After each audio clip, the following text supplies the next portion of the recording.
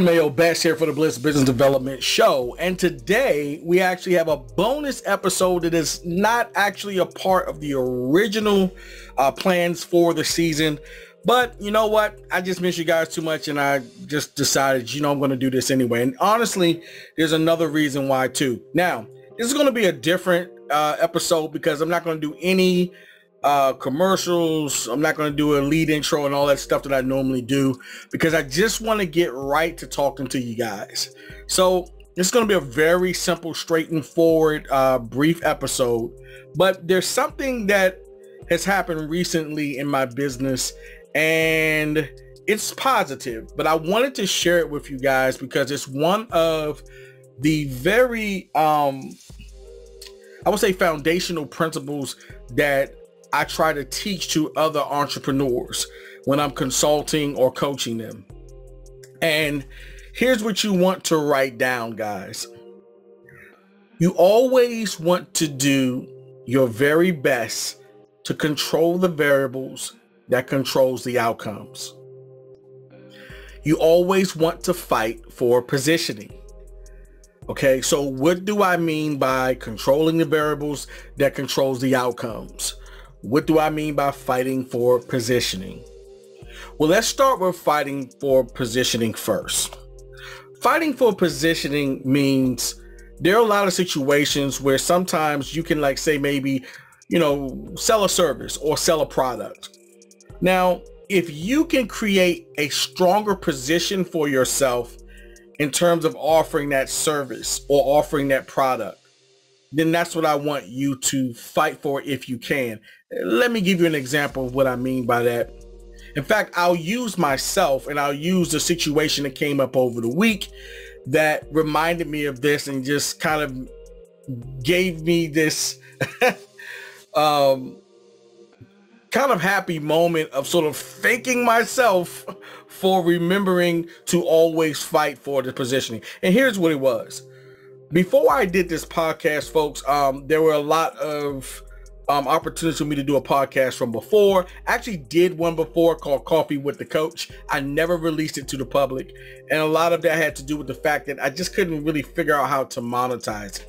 Now, a lot of folks have, you know, some sometimes I would say not quite controversial uh, views over whether or not you should charge guests and so forth. But I can say this, if you guys had any idea as to how much work it is to do these shows and to really plan them out and stay consistent and you know invest the money that you sometimes put into these shows to um, get them to increase in production value and stuff like that um, it can get costly and it can take a lot of time from you both personally and professionally. All right. So with that said I'm definitely of a strong belief that you should try to monetize your show if you can.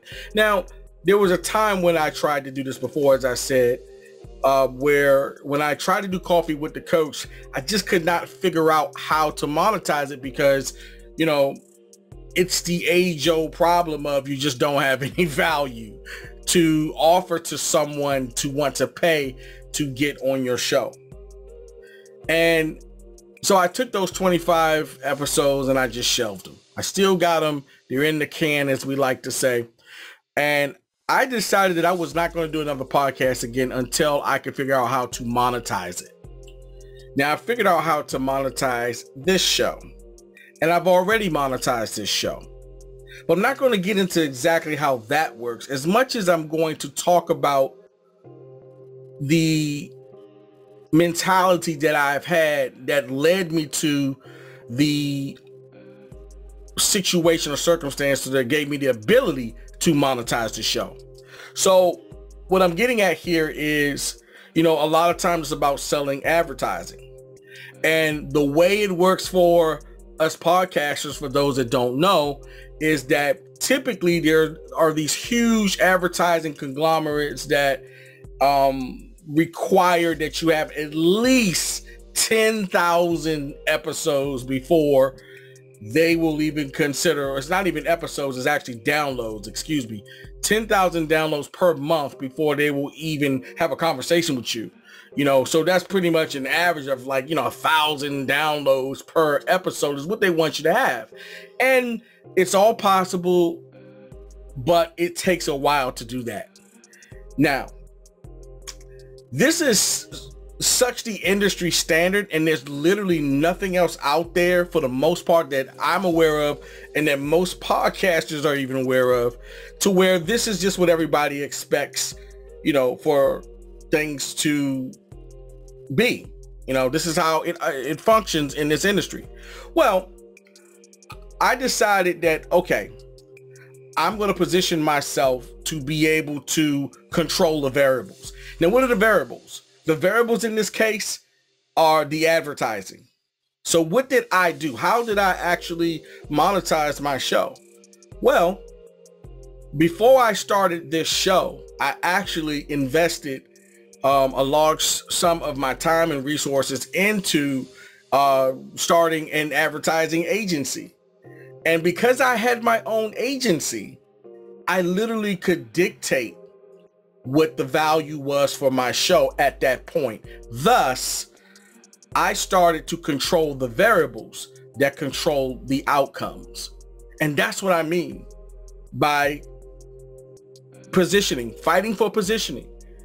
In fact, this is so unheard of. You know, I I posted um an ad because now I'm trying to help other podcasters too you know, just like I do with you guys and trying to help you with your businesses, I'm also now trying to help podcasters to monetize their shows using the same method and format that I have. And I'm teaching them exactly what it is that I do. Well, someone had put up a post that was, uh, let's just say they were in strong disbelief okay? And the type of words that they use is they thought that you know that this was not legitimate as they say because it was unheard of. Because they were saying how in their response to my um ad that i had put out they were saying to me or to i guess the actual um rest of the community that this sounds like a scam basically. They didn't use the word scam. They said it doesn't sound legitimate. Because I have about three sponsors and they won't talk to you unless you have 10,000 downloads per month.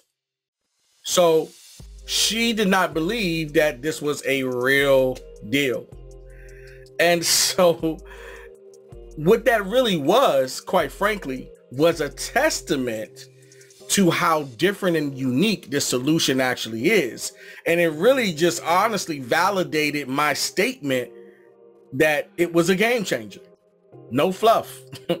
it's a game changer because that opportunity, okay, and my ability to actually, guys, I want you to pay attention because I've just etched out a brand new sort of market within this whole market of podcast monetization that doesn't even really, for the most part, exist.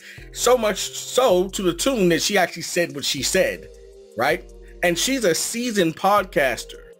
So that is only possible when you position yourself, okay, by investing into your infrastructure as a business owner. Now, I'll tell you a little secret. I learned that through studying acquisitions. You see, with acquisitions, you learn how a how a company is made more successful. And one of the things that they tend to do in companies to make a company more valuable and to actually increase their their um their revenue is that sometimes they will purchase their verticals. They will purchase, let's say the logistics if they are into some type of uh, shipping company. In fact, a great example about this is actually Amazon. If you look at how they handle shipping, and of course that grew out of Jeff Jeff Bezos having this really sort of customer centric approach to doing his business to where he was just looking for a way to deliver a better service as it relates to his customers. And out of doing that, he had to do what? He positioned his company. He had the money. He took that money, reinvested it into his infrastructure and now he has his own shipping.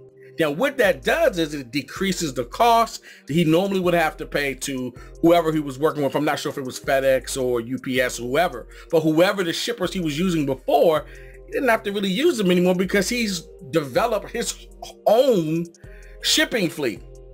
Okay. So he absorbed that portion of the business, but in doing so, not only did it streamline his customer service, not only did it make his customers a lot more happier, not only was he able to start delivering his packages way faster, he also was able to, you know, gain a competitive edge as a byproduct of doing that. So he increased his positioning massively. But what he had to do is what I'm trying to teach you guys to do in the same thing that I did. And honestly, I learned how to take this approach to my business through paying attention to CEOs like Jeff Bezos and others as well. So he basically, you know, he increased his positioning. He controlled the variables that controls the outcomes, guys. You have to fight for that positioning for your business. Sometimes you have folks that'll want to partner with you and bring something to the table and you'll realize that when they're trying to partner with you and bring things to the table, you have to sometimes question, well, does it make sense for me to invest into this myself? or does it make more sense for me to partner with you? Right? Because of course, when you partner with that other person, you know, you're not going to make as much money. You're not going to have as much control and so forth. Now, I'm not saying you do this with everything. You have to decide and use your own judgment as to when and where this makes sense to do. But I did want to share this with you guys because, you know, I'm benefiting massively from having the position that I have. And I only have that position because of my mindset and the whole sort of approach that I have at my business. So I didn't want to make this video too long, but it is something I really wanted to share with you guys because it's something that has been benefiting me quite a bit. And, you know, I offer you guys, I'm going to say full transparency in terms of a lot of things that I do. And I really want you to understand the method behind the madness of certain things that I say, because that may not have been the first time you guys have heard me say that but I really wanted to go with a little bit more of an example to show you the benefit of what happens when you control the variables that controls the outcomes. And you should be constantly looking for opportunities to do that, guys. Okay? Constantly look for opportunities to strengthen your position because it will increase your value proposition to your customers. It will give you a competitive edge. And here's another thing it does when you work in this way, when you approach your business with this type of a mindset, what it also does, guys, it keeps you from having to worry about your competitors because it becomes difficult to copy you. It becomes difficult to compete with someone who's always pretty much adding more value and becoming more dynamic. Now, before I end this video, I do feel the urgent need to give you guys a disclaimer there is a little bit of wisdom and discernment that you want to use with what I'm telling you. Because I don't want you at the same time to end up diversifying yourself so much that you start to spread yourself thin or go into a whole nother business. No, that is not what I'm advocating. That is not what I'm suggesting there's a little thing I like to call diversified focus.